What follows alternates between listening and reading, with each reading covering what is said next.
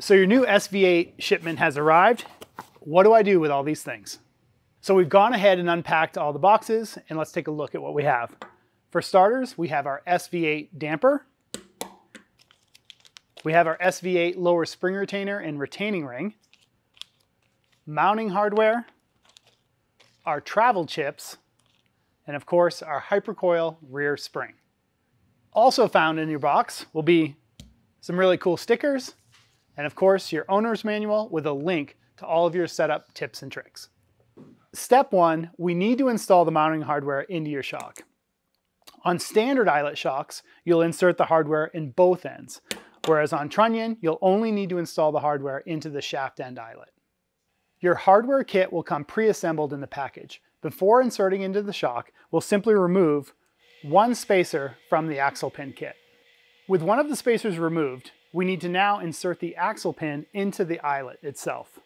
We'll simply do this by starting the installation by hand and either pushing on the table to push it in, or we can use a bench vise. Once the axle pin is completely inserted, we'll simply take the other spacer and install it onto the axle pin, ensuring that the large diameter goes inwards towards the eyelet. Step number two, we've installed the mounting hardware into the damper assembly, and now we've mounted it to the bike. From here, we want to cycle the suspension completely to ensure there's no collision with the shock or any other components. All we're going to do is cycle the suspension all the way down, all the way up, ensuring that there's no interference anywhere on your frame. After cycling the suspension and confirming there's no interference, we're ready to take the shock off and move on to step three. Okay, step three. Now that we've confirmed that there's no collision with the frame, we're simply going to mount the spring onto the damper. First, we're going to take the spring and slide it over the damper body. The spring is not directional, so you can put it on in either direction.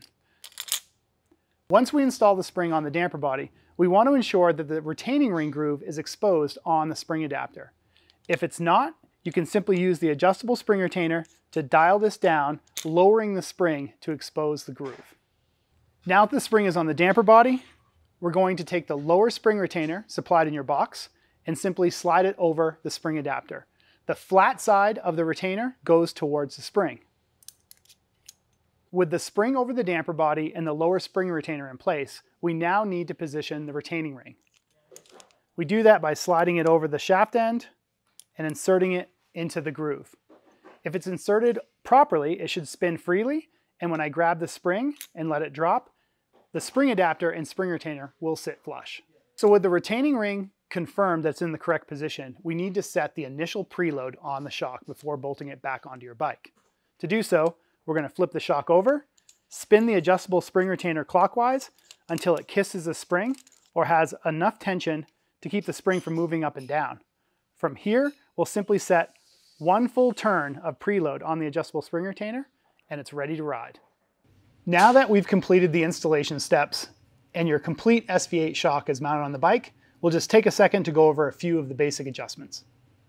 Your SV8 shock has been preset at the factory with 12 clicks out on low speed compression, which is this large blue dial, 12 clicks out of high speed compression, which is the large silver dial, and nine clicks out of low speed rebound, which is the red adjuster dial at the bottom of this shock.